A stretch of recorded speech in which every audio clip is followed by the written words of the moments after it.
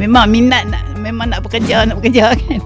Memang memang suka tengok orang menggunakan senjata. Ha tu mesti nak bekerja polis ke askar kan?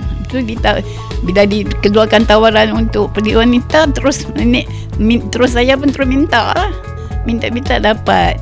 Dapat uh, masa interview tu di di apa? Di negeri Kedah. Ha, Kedah.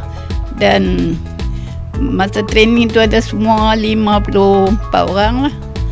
54 tu training di polis depo uh, Jalan Semarak uh, selama 7 bulan.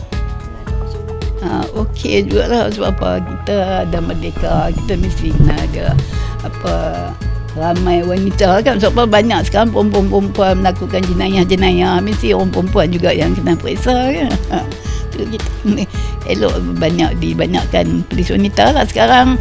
Disamakan. Dulu tak sama gaji kecil kan. Lepas tu disamakan. Disamakan gaji bagi wanita dan perempuan. Dibagi dibagi dibagi peluang naik pangkat bersama masa masa dulu. Dulu makcik tak tak ni tak apa orang kata dia tak sama gaji.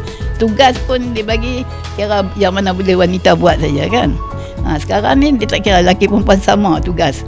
Apa lelaki buat kita pun boleh perempuan pun boleh buat. Naik motor dulu tak ada naik-naik motor ni. Ha. Dia ada menggunakan senjata lah pistol dan apa M16 tu kan. Ha, tu je lah.